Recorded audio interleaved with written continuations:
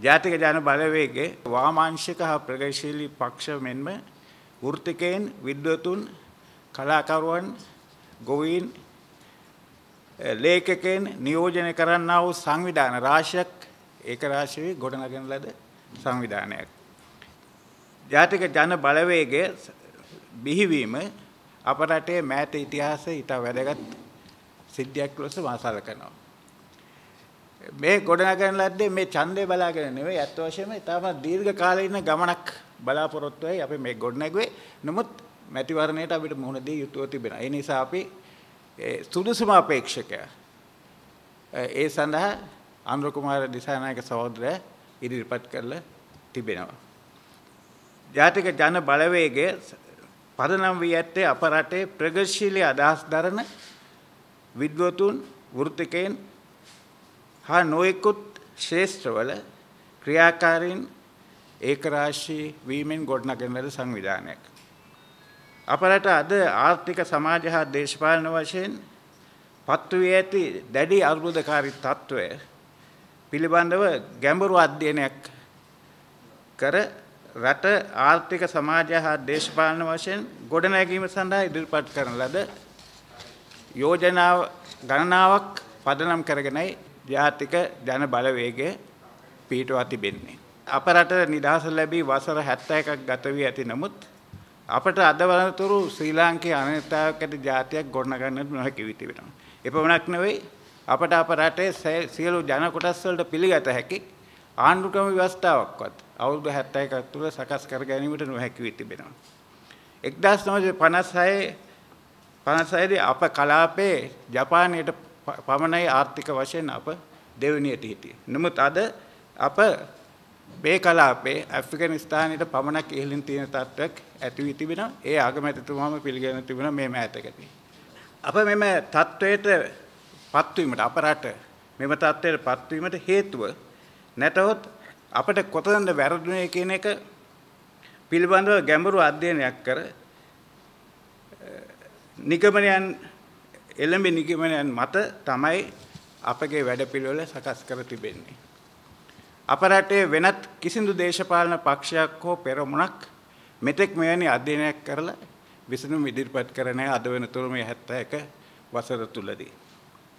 එම නිසා ජාතික ජන බලවේගයේ බිහි කිරීම වැදගත් දේශපාලන සිද්ධියක් ලෙස සැලකෙනවා. ජාතික ජන බලවේගයේ පදනම් වී ඇත්තේ ජනතාවගේ ප්‍රාචාරවාදී අයිතීන් මූලික අයිතිවාසිකම් හා මානව හිමිකම් ආරක්ෂා කරමින් නවීන ලෝකයේ ලබා ඇති විද්‍යා තාක්ෂණික දියුණුව තුළින් ලබා ඇති ජයග්‍රහණ පදනම් වූ නවීන ශ්‍රී ලංකාවක් ගොඩනැගීම. ඒක තමයි අපේ අරමුණ වී තිබෙන්නේ. මොකද මේ විද්‍යුත් විද්‍යාඥයන් විද්‍යුත් රාශියක් ඒක රාශිය. හැටපු වැඩපිළිවෙලේ පදනම තමයි ඒක. එවැනි ගොඩනැගීමක් කිරීමට. ඒ සඳහා රටේ ජීවත් වන සෑම පුරවැසියෙකුම සමාන අයිතිවාසිකම් ඇති බව පිළිගනිමින් සමානත්මතාවය මත පදනම් වූ සමාජයක් ගොඩනැගීම අපගේ අරමුණයි. එමගින් රටේ මානව හා භෞතික සම්පත් ඒකරාශී කිරීම තුළින් සැලසුම් කර ආර්ථිකයක් අප රටේ සම්පත් අප රටේ ජනතාවේ උපරිම වශයෙන් භුක්ති විඳීමට හැකිවන ආකාරයේ නවීන ආර්ථිකයක් ගොඩනැගීම අපගේ අරමුණයි.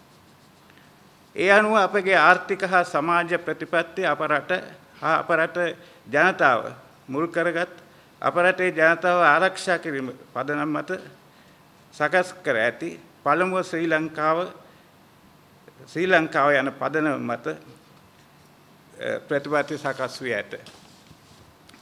අද ලෝකයේ ලබා ඇති විද්‍යාව හා තාක්ෂණයේ දියුණුව අප රට සංවර්ධනය සඳහා පදනම් කළ යුතු අතර අප රටට ආවේනික වූ අපට උරුම වී ඇති දැනුම යටපත් නොකොට ඒවා දියුණු කිරීම අප රට ගොඩනැගීම සඳහා අවශ්‍ය බව අප පිළිගනිමු.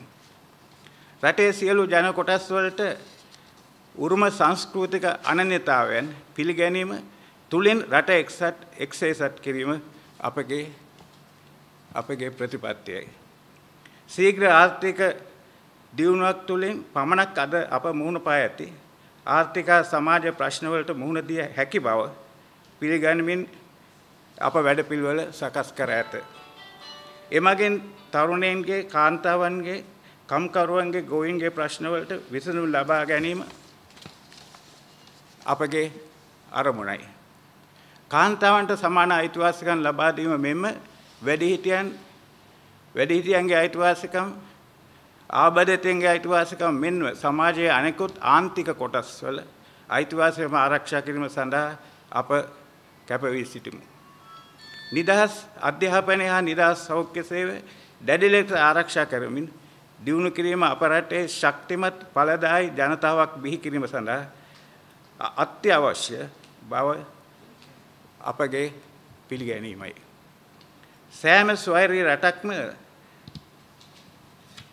සමානය යන ජාත්‍යන්තර විශේෂම එක්සත් ජාතීන්ගේ ප්‍රඥාප්තිය තුළින් පිළිගෙන ඇති මූලධර්ම මත පදනම් වූ ජාත්‍යන්තර සම්මුති ගරු කරමින් අපරට ජාත්‍යන්තර වශයෙන් පෙර තිබූ තත්වයට ගෞරවනීය තත්වයට පත් කළ යුතුව ඇති බව අපගේ අදහසයි. ජාතික ජන බලවේගයේ සමාර්ථමතාවය මත පදනම් වූ ප්‍රජාතන්ත්‍රවාදය මානව හිමිකම් හා මූලික අයිතිවාසිකම් ගරු කරන ශ්‍රී ලංකාව පළමුව යන පදනම මත ගොඩනගන්නා වූ ලෝකයේ සිදුවේ නොයෙකු දියුණුව පදනම් කරගත් නවීන රටක් ගොඩනැගීම සඳහා සඳහා පිහිටුවා ගන්න ලද සංවිධානයක්. ඒ නිසා මේ සංවිධානය ඒම කාර්යය ඉෂ්ට කර ගැනීම සඳහා අපට පළවෙනි පියවර වශයෙන් අනුර කුමාර දිසානායක සහෝදරයා ජනාධිපති මැතිවරණයට අපිට ඉදිරිපත් කර තිබෙනවා. අපි බලාපොරොත්තු වෙනවා මේ අවුරුදු 71 තුර රට පාලනය කළ ඒ කණ්ඩායම් දෙකම අසාර්ථක වී ඇති හේයින් ජනතාව අද අපේ අපේක්ෂය වටා රොක් වෙයි කියලා අපි බලාපොරොත්තු වෙනවා.